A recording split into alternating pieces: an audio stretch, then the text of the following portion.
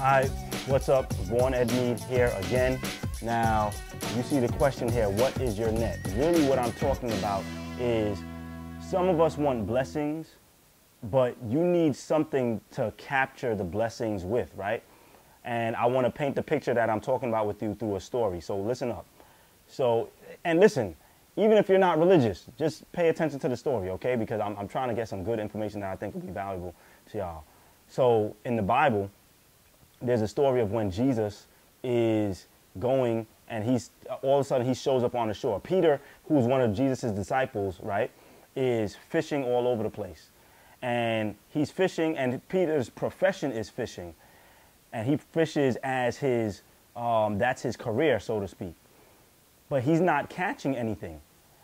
All right, now Jesus is not a fisher. As, as a matter of fact, Jesus is a, carp- a carpenter. So Jesus gives him some advice, and Peter's like, yo, kind of, Peter's attitude is like, well, I kind of know how to do what I'm doing, you know, but he says, I'll listen to you. So Jesus told him, listen, cast your net on the other side. Cast, for those who might be younger, to cast means to throw. Throw your net over onto the other side. So Peter decides to throw the net on the other side, which of course the other end that he was, he wasn't fishing on that side, but he throws his net on the other side.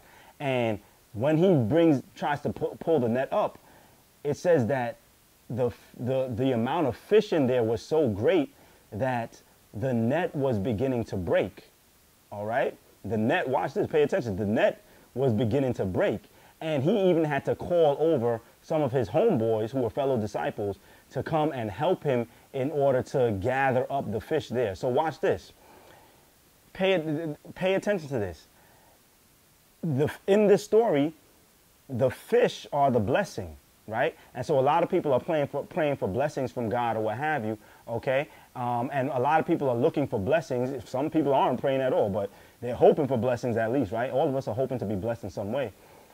But the question is this even if the blessing should come, do you have anything to, ca- to catch the blessing with, right?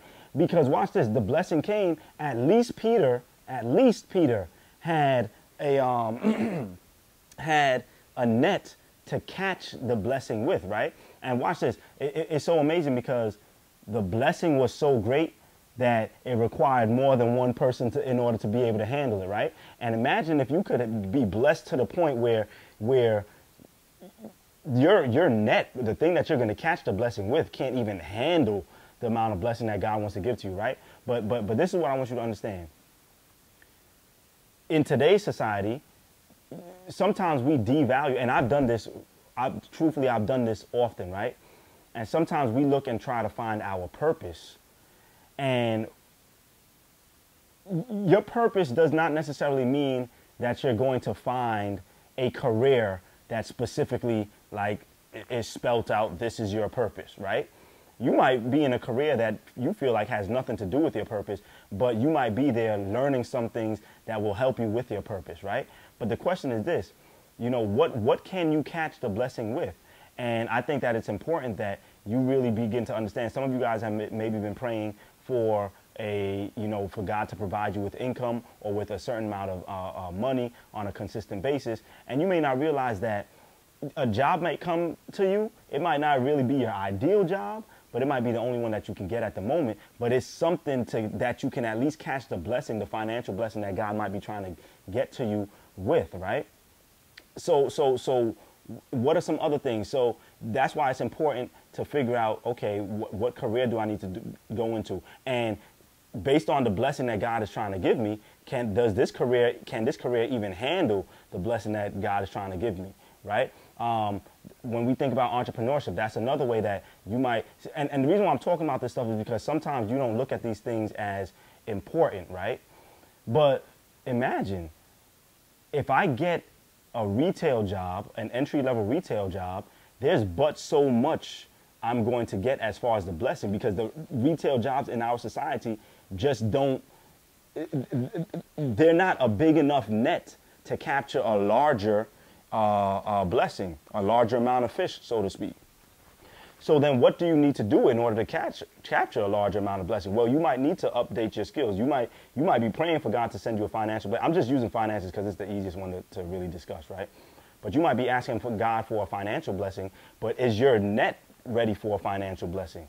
And, and, and how do you get a big a bigger better net well you might need to train different it's one thing to train catching one fish at a time and going like this right casting out your um your line and then rolling it in it's another thing to be fishing large scale and say okay boom I've, I've stepped it up a notch and what I've done is now I have nets so that I can capture a bunch and some of y'all might want God to bless y'all with a million dollars but you are not taking the time to educate yourself, to elevate yourself, to be able to enter into a career or begin a business or a brand that will be able to handle him giving you a million dollars. Because watch this.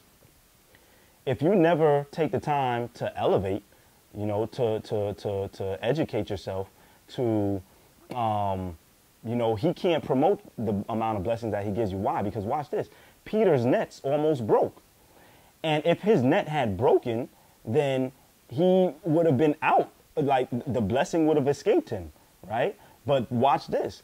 Before it says even that, or it talks in the Bible about the fact that they mend their nets, right? So it's important to mend your net. So mending your net might look like, okay, do I need to do a better job at the job that I'm doing so that I can get an increase, or do I need to, um, do I need to to, to, to go back to school and get more education so I can get into a completely different position that'll allow me to get, uh, uh, you know, more blessings. Um, in a relationship, it might be, do I need to study relationships more so that I can increase my game so that now my net is bigger? I can, I can hold and contain a bigger, larger blessing now. Maybe you haven't gotten the woman that you have been looking for because, you know, your net can't handle that as yet, right? Or, or it, for some of us, our nets might, maybe you've been through a divorce or what have you. Maybe you thought you could handle something, but your net broke, right? Maybe you haven't gotten the young, the man that you want as yet because, yo, your, your net can't handle it as yet. And so how's God going to even bring it to you if your net can't handle it? So, so, so what is your net? What can your net handle right now? Okay. Um, and do you need to be mending your net?